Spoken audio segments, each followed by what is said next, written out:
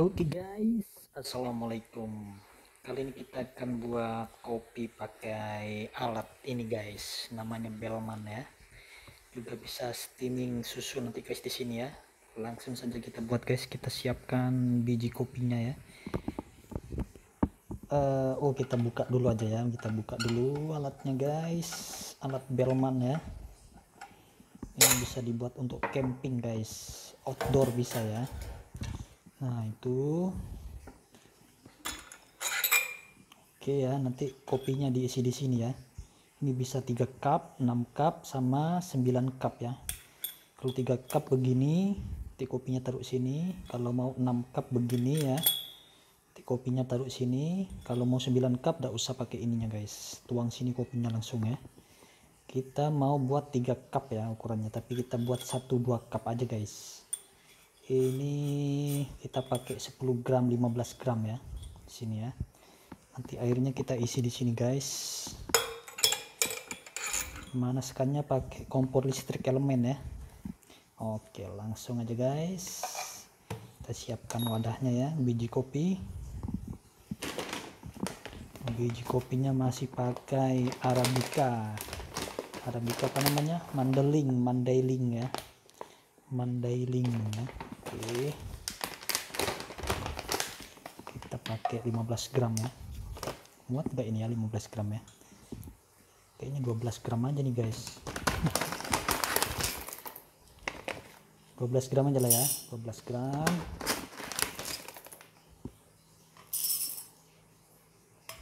Kalau 15 lah dikit lagi lah ya. 14 nah 15 ya. Oke. Kita giling. Pakai berapa sih sini ya? Sama seperti mau kaput ya kita pakai platina kita pakai skala tiga setengah aja ya. Tiga setengah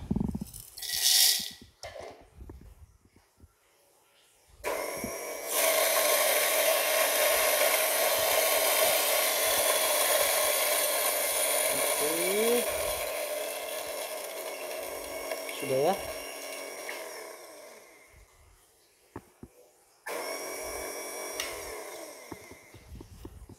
oke mantap kembalikan. 15,8 ya sama ya. Langsung kita tuang aja guys.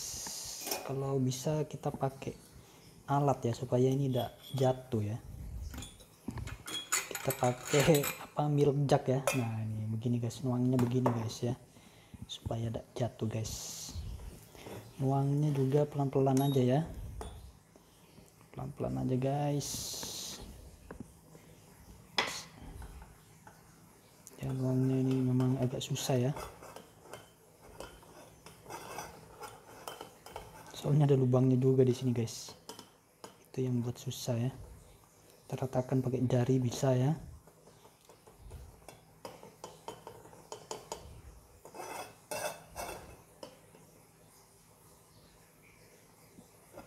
Oke yang sabar nuangnya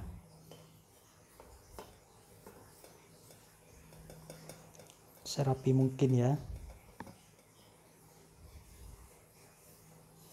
Serapi dan serata mungkin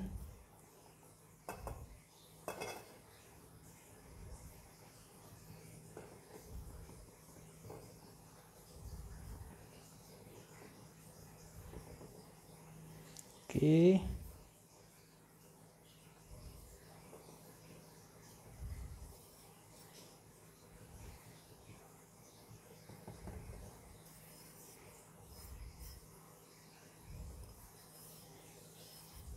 Tidak muat kayaknya guys ya. Harusnya 12 gram kayaknya ya. Kebanyakan guys. Oke, rata ya.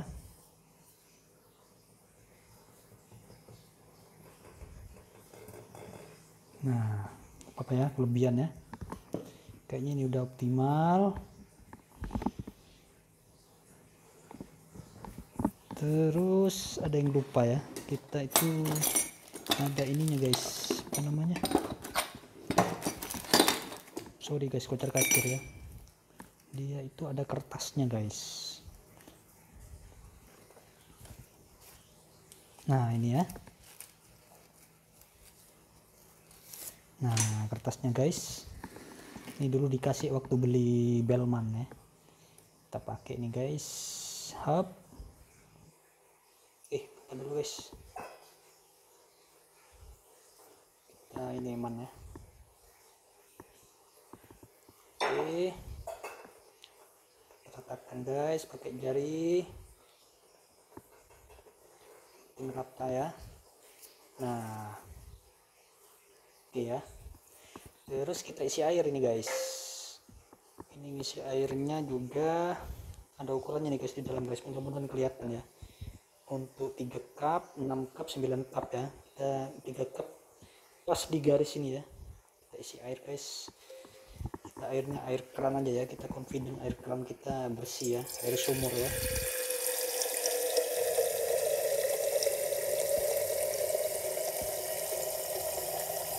Oke, cukup ya. Cukup. Terus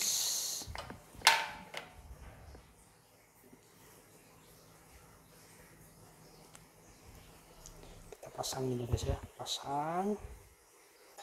Oke, good. Terus ininya guys, tutupnya ya. Kita rapatkan guys kita rapatkan ya rapat guys ini soalnya main tekanan ya. Agak berbahaya nih guys. Sejenis mau kapot ini ya sebenarnya ya.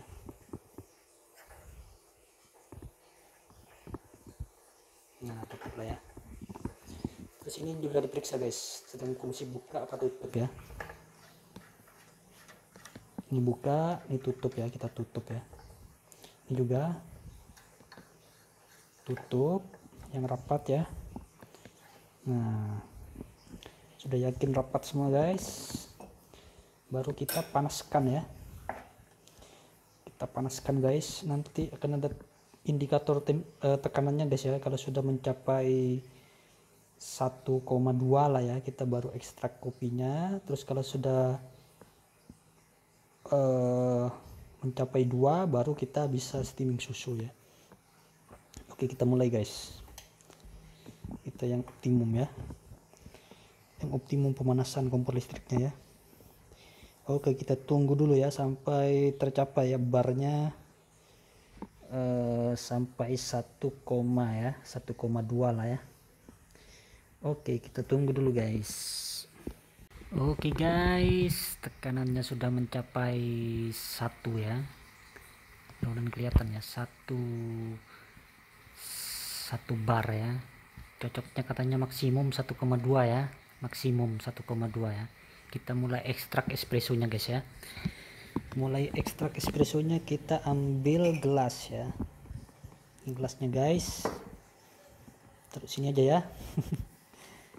ini agak susah ngekstraknya guys kita harus buka kerannya ya agak miring dikit sini dipegangin ya ini ya ini pegangin ya terus kita buka guys pelan-pelan buka ngucur ya guys. Ya kira-kira aja ya sampai 30 mili. Ini sekian 30 mili ya kayaknya ya. Hmm, terus kita ekstrak satu lagi guys. Eh kayaknya ini kurang guys.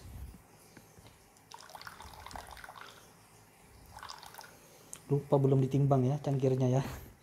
Kira-kira segini lah guys ya 30 mili guys.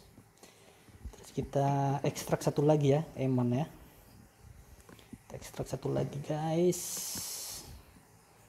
Eh belum ditimbang guys. Nah gitu ya. Terus kita ekstrak satu lagi ya.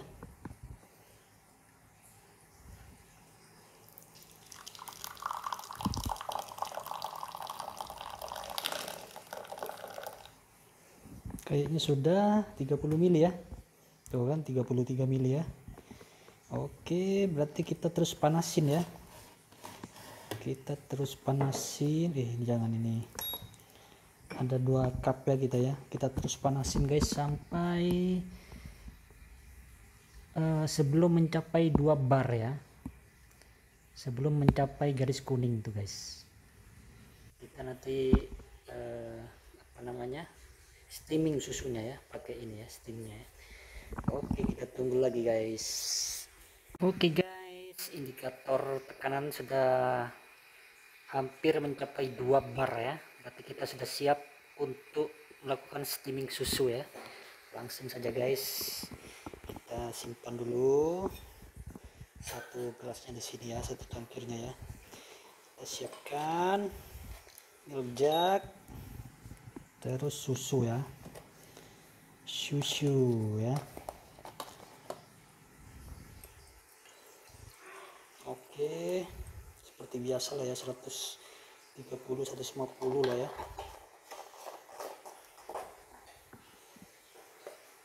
Oke berarti kita steaming ya langsung aja guys kita posisikan ya yang benar ya. Agak ditenggelamkan ya dia dua lubangnya dua soalnya guys ya. Kita ditenggelamkan.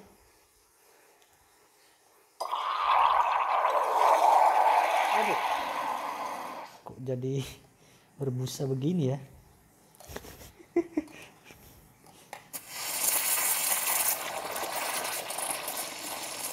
harusnya di langsung di flashing dulu tadi guys ya. Lupa guys sudahlah. Ya.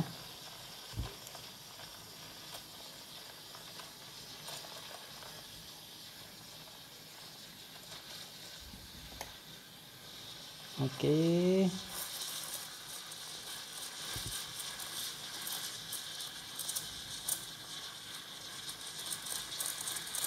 harusnya di flashing dulu tadi ya.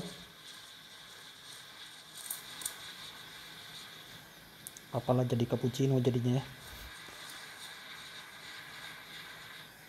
Oke.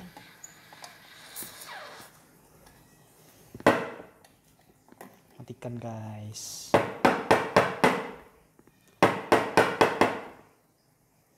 Jadi cappuccino ya.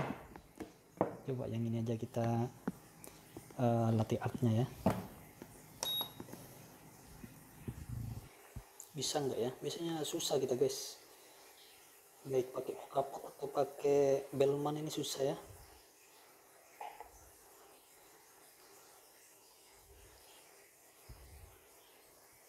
Tuh kontrasnya tidak terlalu bagus ya. Steaming susunya kurang bagus kita guys. Tapi ada bentuk-bentuknya dikit lah ya oke guys. Coba kita rasain yang kopi hitamnya dulu ya. Tadi kan kita ekstrak dua cangkir ya. Kita cicip dulu ya. Salam seruput dulu guys. Salam seruput. Hmm. Mantap sih ya. Strong ya. Rasanya strong guys. Hmm mantap ya. Coba uh, kopi latte nya ya. Hmm. mantap juga guys. Mantap lah pokoknya ya.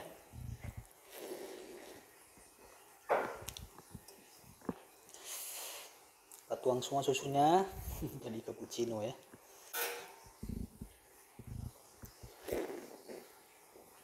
Oh mantap guys ya. Ya begitulah guys pakai belman ya belman belman coffee espresso maker ya dan steamer ya steamer susu ya.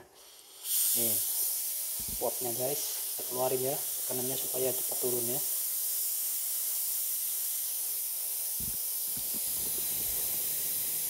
Oke mantap lah ya. Jadi nanti tekanan tunggu tekanannya turun dulu guys ya tunggu tekanannya turun sampai sampai nol baru kita buka guys. Soalnya masih bertekanan di dalam guys ya. Bahaya kalau langsung dibuka guys. Oke ya. Kita rasain dulu salam seruput lagi. Hmm mantap ya. Kopi hitamnya. Hmm. Mantap guys ya. Gitulah guys membuat kopi espresso kopi latte atau cappuccino dan juga steaming susu ya. Pakai alat yang namanya Bellman ini ya. Bellman CX 25P ya. Ada indikator tekanannya ini ya. Oke guys sekian dulu guys. Terima kasih semuanya ya. Semoga bermanfaat. Wassalamualaikum warahmatullahi wabarakatuh. Goyang jempol dulu ya jangan lupa ya. Salam seruput